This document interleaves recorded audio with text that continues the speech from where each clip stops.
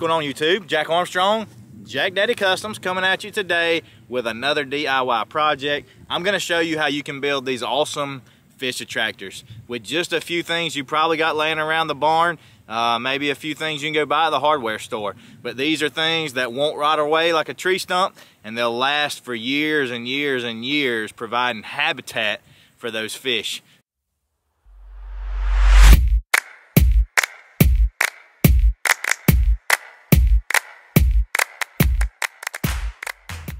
right, YouTube, these are the fish attractors that we are going to build today.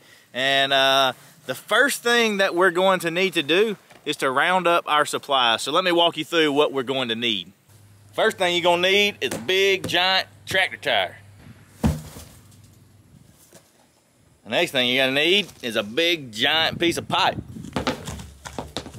Then, you're gonna need a big, giant roll of PEX or something like it. We got some 3 8 inch PEX. You could use like uh, some of that black poly tubing. Uh, go check out my other video. I'll link it in the description. Uh, in my other video, I use some black poly tubing. It works fine. Any kind of plastic pipe will be good.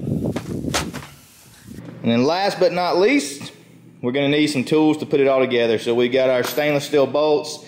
We got something to cut the PEX with. We got a drill with a 3 8 inch bit. We got a saw to cut the PVC pipe with, and then we've got an angle grinder with a sanding disc that's gonna help us rough up the pipe so algae and stuff will be able to grow on it. All right, folks, at home real quick, I just wanna tell you about something really cool. If you're watching this video, chances are you like to fish and I have written a book about fishing. If you got some kids that are helping you with your projects, maybe you can reward them by giving them this book. Maybe you read it to your kids at night, whatever it is. This is a awesome book that teaches some quality character traits. It teaches a lot about adventure and there's a bunch of fishing adventure in there. So uh, don't just make your pond better, make your kids better and uh, read a book to them. Uh, go check these out. I'll put that uh, link in um, the description. Go check it out.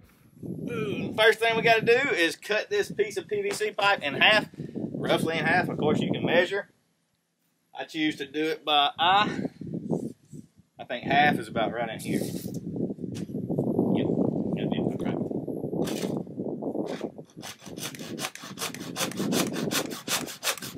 The next thing we gotta do is attach the pipes to the tire. So the way we're gonna do it is put one kind of facing up,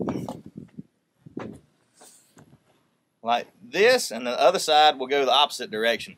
And the best way to do it is just drill holes through this and through the pipe and uh, you know, you might want to drill the top side a little bit bigger hole so that you can fit your tools down in there to tighten it up or whatever.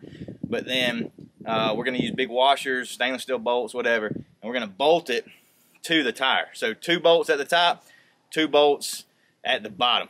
There's no easy way to get to the ones at the bottom. You just got to use your, I mean, you got to have to bend down in there, get back in the tire or whatever. Uh, but it's imperative that you put two bolts per side. All right, once you get it to this point, the hard work's done. So getting these bolted on is the hardest part, no doubt. But you see I got one going from the bottom on one side of the tire to the top on the other side of the tire, shooting out this way. The other one's shooting out that way. The next thing we got to do is to drill a bunch of holes. So uh, we're to drill starting about right in there. We want this to be like a top of a tree just sitting up with all the branches for all those little fish to be able to hide under and then the big fish will hide behind that. But anyway, we want to drill a bunch of holes and we want to alternate them. Uh, so you don't want them coming from the same side everywhere. You won't have any kind of branch effect. It'll just be pipes sticking out in the same direction. So maybe, you know, come from this side on, like the top on this side and then the top on that side on the next one. And just kind of make them be sporadic all throughout there. You can put as many or as little as you want. Just being sporadic is the main thing. The next step is to cut your PEX or pipe, whatever you got.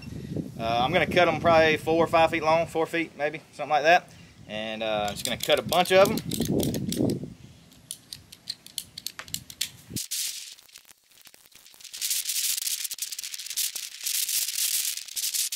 And then you take it like that and you put it in the hole that you drilled. Super easy.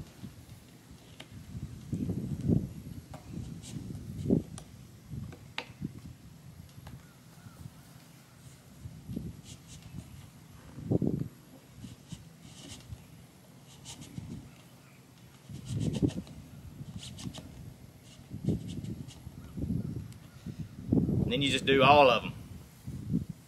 I put them maybe four to six inches apart.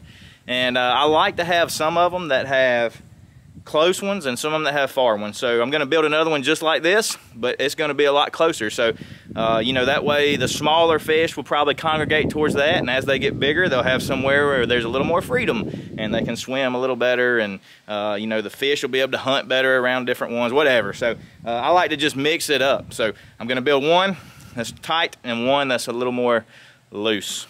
The last thing we're gonna do before we go put this in the water is to take our flat disc with our uh, grinder and just hit all this real quick. We're not trying to like get everything, but these are real smooth and algae will grow on them, but it'll take a long time. So if we can rough it up, then that'll get stuff on there quicker. So I'm gonna show you the finished product. And then the last thing that we've got to do is to go sink these things.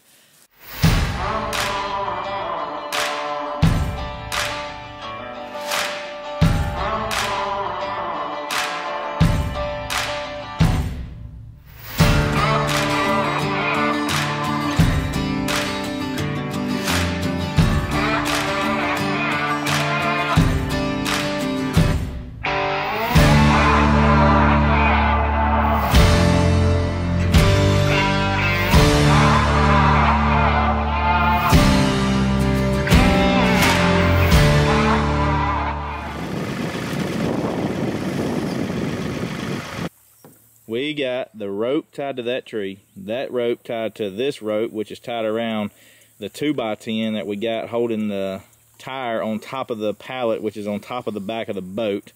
And then we've got a rope tied to the front of the boat, tied to another rope that Ram's taking over to the other side of the pond where my Ranger's gonna be. And then we're gonna hook this rope to the rope on my Ranger and take off. Uh, so that's the plan. See how it goes. New plan the boat sank. I didn't have it on video because I wasn't ready yet. We were just trying to get it shoved off just a little bit and it sank. So we may try to get in a minute on the other one and put the tire more in the middle. We're just gonna see how this goes. The tire's already there and uh, they're not really getting that out of the way. So we tied us a, uh, just a, like a, a big loop knot over the tire so that we can undo the shackle and pull the rope out from under it. And we're just gonna try to hoss the Ranger and kind of get this tire on plane until it gets to where we want it to be and then stop and hopefully it'll just sit down right there. So that's the goal. We got ram all the way across with a rope and we're fixing to give it a go. Watch out, Willie. Get away from it.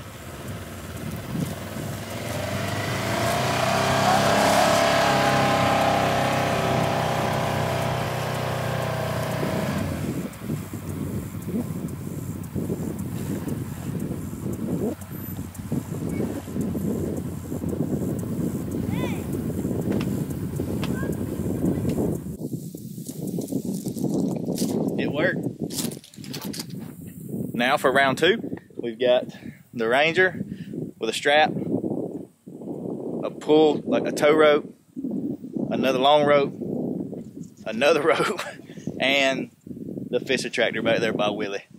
So, uh, we're gonna try to ski this thing across the water just like that last one.